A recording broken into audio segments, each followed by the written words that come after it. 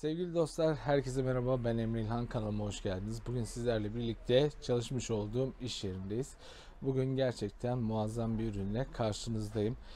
Biliyorsunuz ben genelde fındıkla alakalı paylaşımlar yapıyorum. Aldığım ürünleri tanıtıyorum.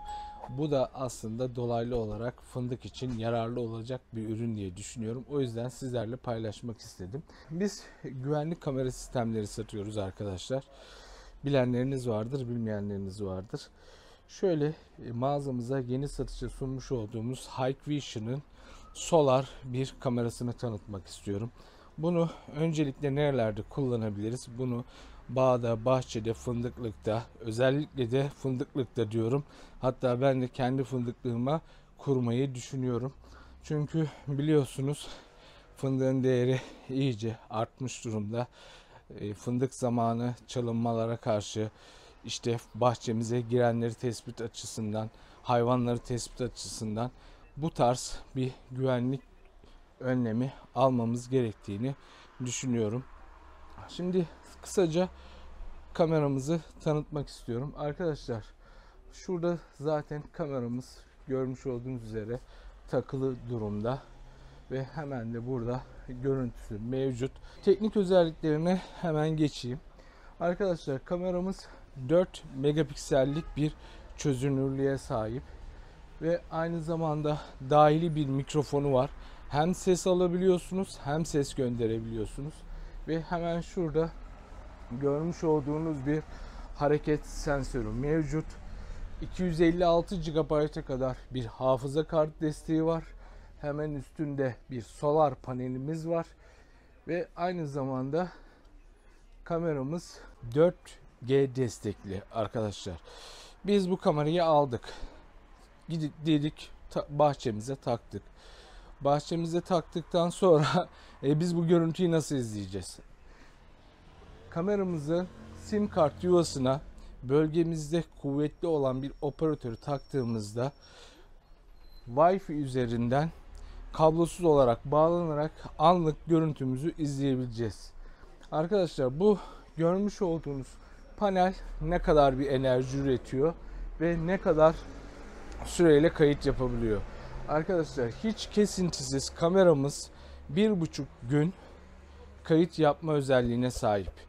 İçindeki pil sayesinde standby konumunda yani biz bunu harekete duyarlı yaparsak ve aracı duyarlı yaparsak bu kameramız 11 gün boyunca kayıt yapabilecek. İçindeki pil bu seviyelere yeterli gelecek. Sevgili dostlar birazcık kısa bir mola verdik. Az önce müşterimiz geldi. Kaldığımız yerden devam edelim. Bir buçuk gün kameramızın kayıt yaptığını söylemiştik. Aslında bu kayıt süresi değil bir buçuk gün boyunca bataryamızın hiçbir şekilde güneşten faydalanamadığı enerji üretemediği durumda içindeki batarya bir buçuk gün boyunca kameramıza enerji sağlayacak ve görüntüyü kaydetmeye devam edecektir. Ama bölgelerimizde genelde güneş alımı var. Yani bulutlu olmuş olsa bile panelimiz yine enerji üretecektir ve hiçbir şekilde kaydımız kesilmeyecektir. İçine eğer biz 256 GB'lık bir hafıza kartı takarsak yaklaşık bir aya kadar bir kayıt yapmış olacağız. Bir aylık kayıt nedir arkadaşlar? Bir aylık kayıt şu. Diyelim ki 30 gün boyunca kayıt yaptı. Birinci gün 30 gün doldu. Yani ben bunu e, farazi olarak söylüyorum. Çünkü bunun megapikselini düşürebilirsiniz. Hareketi duyarlı yapabilirsiniz. 256 GB hafıza kartı belki 45 gün size kayıt yapacaktır. Bu e, ayarlarla bunu değiştirebilirsiniz, uzatabilirsiniz. Diyelim ki 30 gün kayıt yaptık. 30 günün sonunda komple kaydı silmiyor. Bilenleriniz vardır, belki bilmeyenleriniz vardır. En baştaki birinci günü siliyor ve oradan kaydetmeye devam ediyor. 30 günlük kayıtta gerçekten de muazzam bir kayıt. Eğer 256 GB'lık bir hafıza kartı takarsak. Bu sayede bahçemizde veya işte bağ evimizde veya e, arı kovanımızda yani enerjinin olmadığı noktada bu kamerayı koyduğumuzda biz olabilecek her olayı bir aylık süreç içerisinde görebileceğiz. Zaten e, içine takmış olduğumuz sim kartı sayesinde online'da izleyebileceğiz. O bölgedeki olan olayları. Kameramızın daha diye şöyle bir detaylarına girelim. Şöyle IP66 e, sertifikalı. Bu sertifika ne işe yarıyor? Bu sertifika arkadaşlar suya ve toza dayanıklı. Biliyorsunuz bu kameralar görmüş olduğunuz üzere dış ortam kamerası. Her türlü hava koşullarına dayanıklı kameralar. Kutunun içerisinden neler çıkıyor? Görmüş olduğunuz gibi şöyle bir panelimiz çıkıyor. Kameramız çıkıyor ve şu şekilde bir ayağı çıkıyor. Şöyle yakınlaşalım istersek. Şurada alt kısmı gösterebileceğiz mi? Şurada. Biz burada kameramızı enerjiyle besledik. Burada sim kart yuvası var. Micro SD hafıza kart yuvası var. Görmüş olduğunuz gibi. Başka e, girişler de var. Ben göremiyorum tabi. Bakıyorum. Burada diğer bağlantı noktaları da var. Bunu tabi biz burada deneme amaçlı nereden besledik? Network'ten besledik. Normalde dış ortamda hiçbir şekilde besleme yapmayacağız arkadaşlar. Bunu gidelim biz bir ağaca takalım veya bir e, orada bir direk yapalım. Oraya takalım ve kameramız e, çalıştıralım, kurulumunu yapalım ve panelimiz otomatikman enerji üretmeye başlayacaktır ve kameramız aktif olacaktır. Uzaktan izlememiz mevcut. E, Hikvision'ın kendi programı var. O sayede izleyebiliyorsunuz. Harekete duyarlı bakın burada pır özelliği görüyorsunuz. Diyelim ki e, az önce bahsetmiştim. Kameramızı harekete duyarlı yaptık. E, çünkü hareketi e, biz orada 7/24 görüntüyü kaydetmesini istemeyebiliriz veya bize e, sürekli e, hani bakalım bir şey olmuş mu diye girmemize gerek yok. Kameramız harekete duyarlı. Harekete duyarlı olduğu için de kameramız hareket algıladığında, insan algıladığında veya araç algıladığında otomatikman bize bildirim yapacaktır. Diyeceksiniz ki ya biz nasıl yapacağız? Diyorum ya 4G sim kartı. O bölgede kullanılan e, telefon operatörleri vardır. O te bölgede kullanacağınız telefon operatörü mutlaka ve mutlaka iyi çekiyor olabilmesi lazım. Mesela şöyle söyleyeyim. Bazı bölgelerde Turkcell çok iyi çeker. Bazı bölgelerde Türk Telekom çeker. Eğer 4.5G görürseniz telefonlarınızda mesela burada yazar telefonunuzda 4.5G çekiyor der. 4.5G çektiği zaman veri akışı daha hızlı olacaktır. Ama 3G'ye düştüğü zaman daha altına düştüğü zaman veri akışı daha yavaş olacaktır. Haliyle görüntüyü izlerken ne olacaktır? Bunu bu detayları anlatıyorum. Çünkü bu detayları e, anlatmazsak e, seçmiş olduğunuz operatörde sıkıntı yaşayabilirsiniz. 4.5G'de her zaman veri akışı daha hızlı olur. Çünkü internet hızımız farklılaşacak, daha hızlı olacak. O yüzden de operatörü tercih ederken bunu göz önünde bulundurmamız gerekiyor.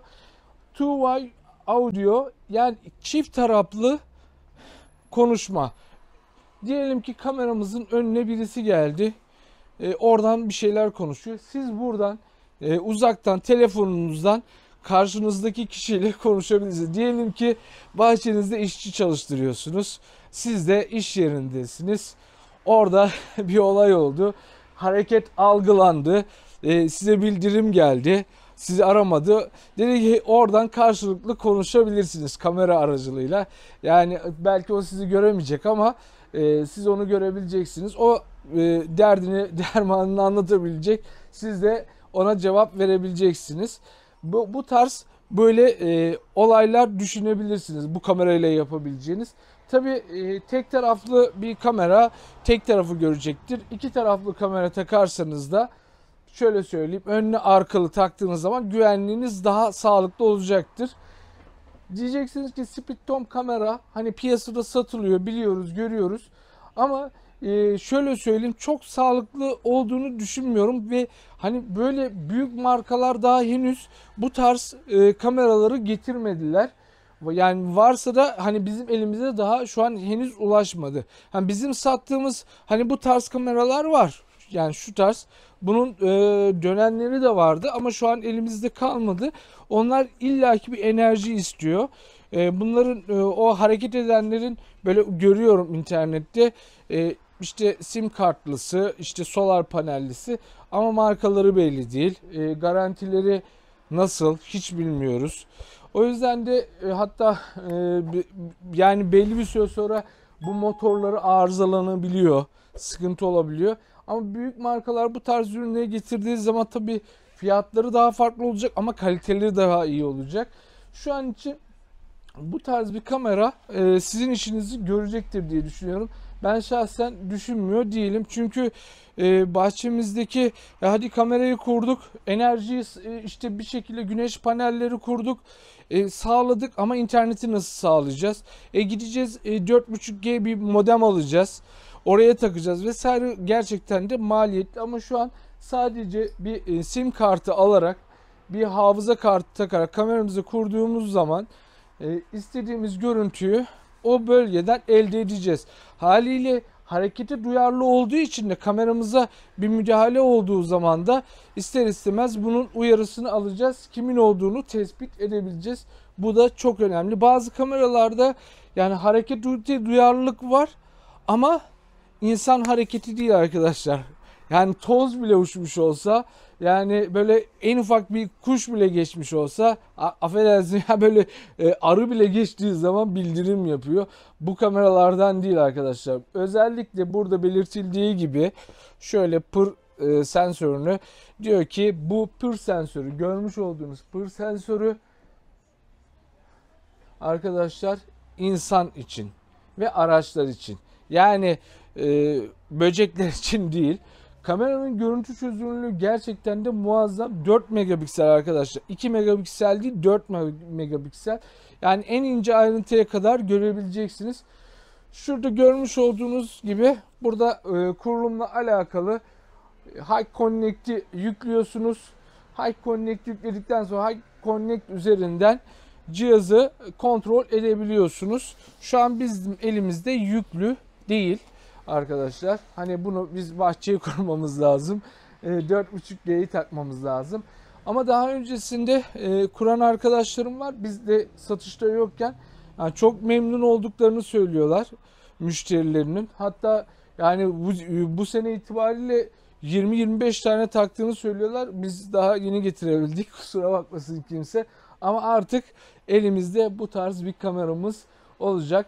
Şöyle yine görüntüye gelelim arkadaşlar. Tabi e, telefonumuzda daha net bir görüntü göreceğiz. Şu an Ceyhun da çıktı. Bizim kameramız da çıktı.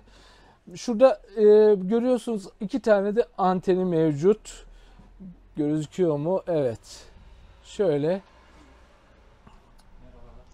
Kameramız mevcut. Kameramız da çok ufak değil. Şöyle içinde ekstra bakalım kutusunda neler çıkıyor diyeceğim. E, zaten kutusunda çıkanlar şöyle bir ayağı çıkıyor, panel çıkıyor ve kameramız çıkıyor. Ekstra içinde bir şeyler kalmış mı ona bakalım. Hani bizim e, burada kurmadığımız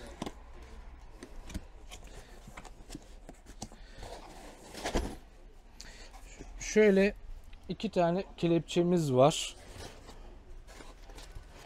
Şöyle bağlantı vidalarımız ve alyanımız mevcut. Onun dışında da herhangi bir şey yok arkadaşlar.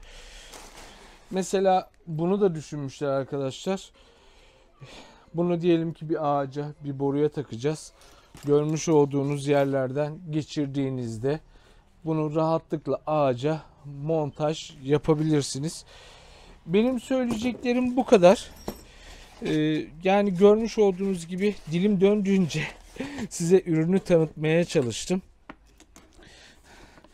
Umarım da sizler için de faydalı olmuştur. Fiyatına da gelecek olursak fiyatı da gerçekten çok iyi. Yani bugün itibariyle biz bu ürünü 7900 TL gibi bir rakama satıyoruz. Bugün itibariyle yani şu an e, internette de baktım. Şu an en uyguna biz satıyoruz diyebilirim. Hani uzak yerlerden almak isteyenler olursa hemen e, açıklama kısmına linkini de bırakacağım. E, linkten e, talep ederseniz alabilirsiniz veya işte farklı yerlerde e, farklı fiyatlarda da ürünler var. E, şimdi illa da bizden alın diye bir şeyim yok. Hani buradaki amacım e, sizleri bilgilendirmek. Yani bu tarz bir ürünün varlığını bilin, ne gibi özellikleri olduğunu bilin. ve markayı özellikle söylüyorum. Hikvision markası dünyanın en çok güvenlik kamerası satan markası. Yani bu işin devi diyebilirim. O yüzden de hani sıradan bir kamera almayacaksınız. Gerçekten de iyi bir kamera alacaksınız. Beni izlediğiniz için teşekkür ederim. Kanalıma abone olmayı, videolarımı beğenmeyi unutmayın. İnşallah bu ele bu tarz videoların devamı gelecek. Hoşçakalın.